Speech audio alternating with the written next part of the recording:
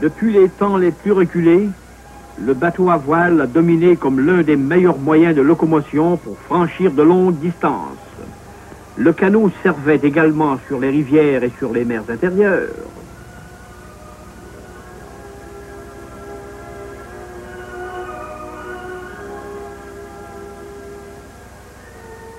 La marche resta pendant longtemps un moyen excellent de déplacement. Puis vint la voiture à traction animale et les premières routes rudimentaires à travers bois.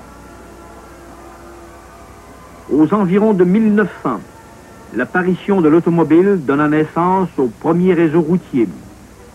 Et l'on se promenait gaiement dans ces guimbardes qui faisaient jusqu'à du 25 000 à l'heure.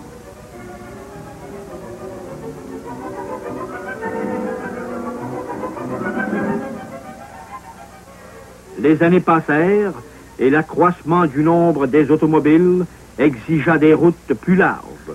Les ingénieurs firent leur apparition. Jusqu'à l'avènement de l'Union nationale, les trois quarts des routes n'étaient pas pavées. Aujourd'hui, on ne construit plus un seul chemin sans avoir au préalable pris des échantillons de terre pour connaître la formation des sols.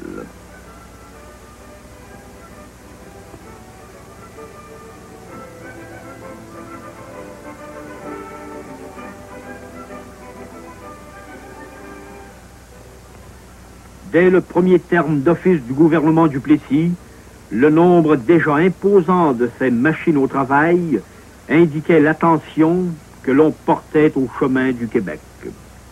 L'apparition de ces lourdes machines, louées ou achetées par le gouvernement de l'Union nationale, disait clairement qu'il y avait quelque chose de changé dans le domaine de la voirie québécoise.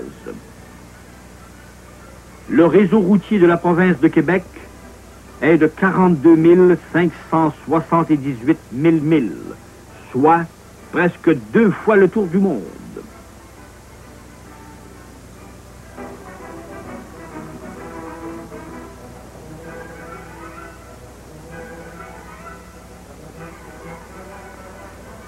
Quand les routes ont reçu leur gravier, on s'apprête à les recouvrir d'alphate.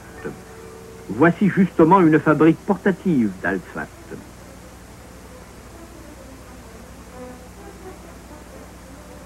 Le gouvernement de l'Union nationale a fait et continue à faire une guerre sans merci à la poussière.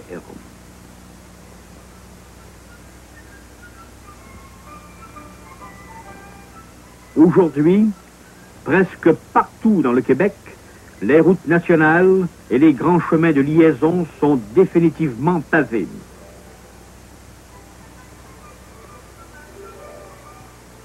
La politique adoptée et maintenue par le gouvernement du Plessis en matière de voirie depuis son premier terme d'office en 1936 s'est appuyée sur la plus haute technique connue en Amérique. Sans négliger l'amélioration et la reconstruction complète des grandes routes nationales et la construction de routes à voies multiples, l'Union nationale a attaché une importance exceptionnelle à la voirie rurale. Voici le magnifique pont Charlemagne, construit par le gouvernement du Plessis à l'entrée est de Montréal. Ici, l'on relève la marque du génie moderne en matière de voirie, les routes à voies divisées.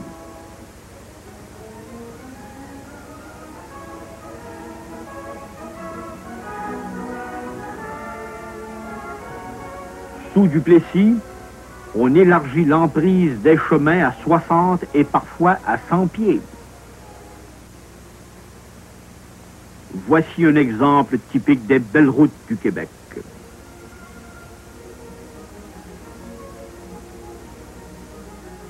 La région d'Amos, Abitibi, possède de belles routes larges.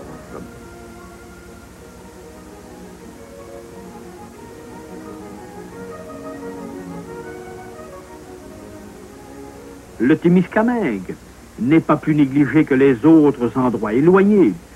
Ainsi, les districts miniers se trouvent mieux reliés au grand centre.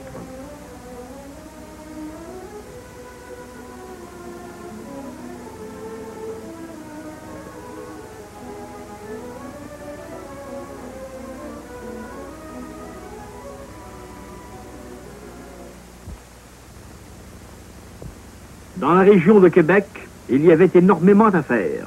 Il importait, par exemple, de relier la vieille capitale à l'un des coins les plus progressifs du Canada, celui du lac Saint-Jean, où le gouvernement du Plessis attire de nouvelles industries. Les gouvernements libéraux ont laissé en héritage aux gens du lac Saint-Jean une espèce de route préhistorique reliant Chicoutimi à Québec. Ça prenait une journée entière pour franchir une distance que l'on couvre aujourd'hui en deux heures et demie. Le gouvernement du Plessis a tracé à travers montagnes et ravins le magnifique chemin qui porte le nom de boulevard Talbot. En bordure de cette autostrade, le gouvernement de Québec garde en opération deux hôtels, le relais et 2000 plus loin, l'étape où des milliers de voyageurs s'arrêtent à mi-chemin pour se reposer. Sous Duplessis, de nouvelles routes se sont ouvertes et des régions autrefois isolées sont devenues facilement accessibles. Sur la côte nord et même près des régions arctiques, il y a des routes qui prennent mine de réseaux routiers.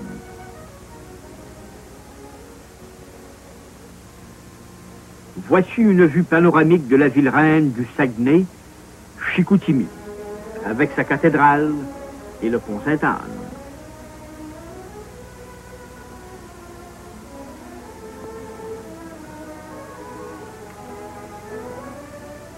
Et voici le pont tout aluminium construit à Arvida et à l'arrière-plan, le barrage et l'usine hydroélectrique de Chipchamp.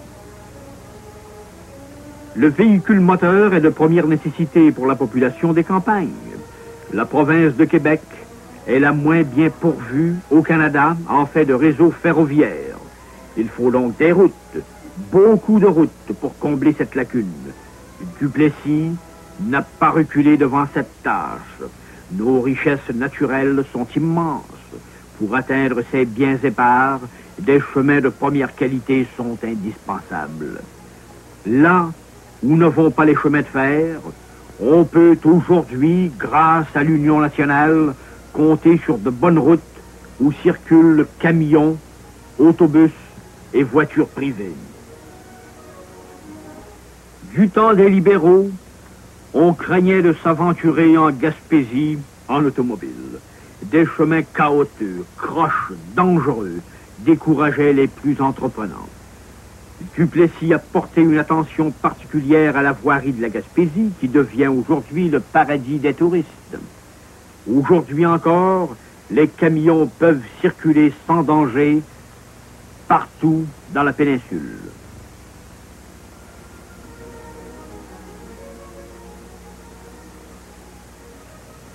Près de Québec, une route magnifique mène à Sainte-Anne-de-Beaupré et des travaux gigantesques s'effectuent dans la fameuse côte de la Miche conduisant à la Malbaie.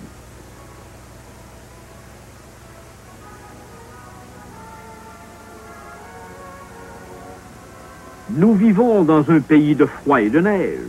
La voirie d'hiver n'a pas été négligée sous Duplessis. Le geste de cet homme nettoyant son entrée est bien symbolique. L'autoneige, par ailleurs, est presque devenue une chose du passé.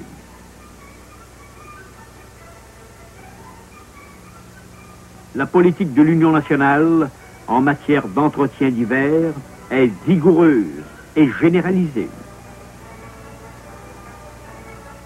Les souffleuses à neige sont en service partout.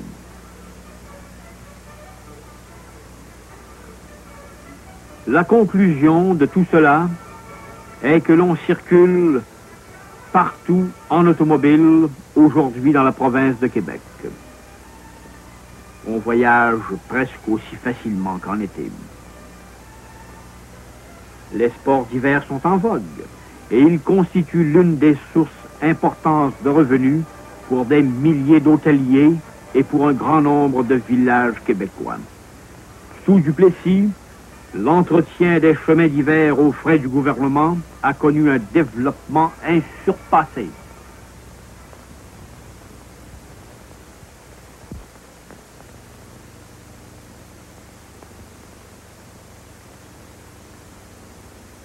Au 31 mars 1955, Le rapport officiel du ministère de la Voirie précisait que le réseau routier du Québec est de 42 578 000 milles. C'est presque deux fois le tour du globe terrestre. Duplessis a refait la voirie du Québec.